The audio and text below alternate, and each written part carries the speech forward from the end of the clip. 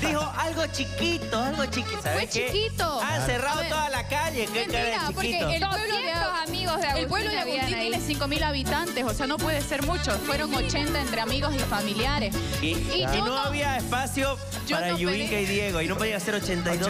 Yo no me no. sentía con el derecho de estar obligando a alguien a que pueda ir y pagarse el pasaje y todo lo demás. O sea, me está diciendo Yesca, digamos. Eh, eh, bueno. Sabemos que no te iba a alcanzar, bro, así que... Pero, Mejor bueno, ni te pero dice.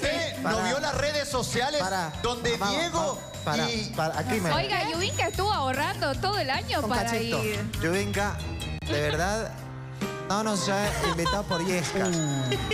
En mi caso, digamos, podría ser porque yo máximo llego aquí a Samaipata, ¿no? Oh. Oiga, no sé. Pero si- Yubinka la hemos visto triunfando en Miami. Junto a, junto, junto a Maluma. Ah. O sea, fotos con Maluma. Era Yo Beto. no entiendo. Oiga, a no hable mucho. está bien por Yesca, pero Yubinka como que le alcanza, digamos. Sí. Claro, es, es pudiente. O Es no sé. pudiente. O- bien. ¿O qué dice, Gle- qué dice Gley? ¿Por qué no invitó a Yubinka? Oiga, ya no sigamos con ese tema. Me estaban preguntando qué tal la vida de casada. Yo les iba a contar. Sí, pero yo me voy a detener en Ya algo que fue. Diego tiene toda la razón. Usted, Ustedes no ¿vio? quieren saber. ¿Usted vio las Nadie redes dijo sociales? me opongo en su No, matrimonio. nadie. Nadie. ¿No, No quieren saber ¿eh? ustedes que Agustín les dé dijo, algunos "Me tips? opongo".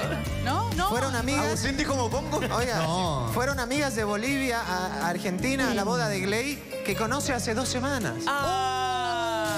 No fui yo ni Yubinka. No mienta. Oiga, no ¿Sabes sea qué? Diego, se, lo, se lo llevaron hasta el taxista que los llevó al, al- al aeropuerto. ¿No quiere ir al, al No. Vamos, no, y se lo Te, llevaron. te cuento que eso es verdad.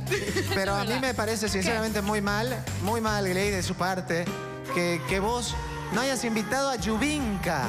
Y me parece muy mal también que Alex nomine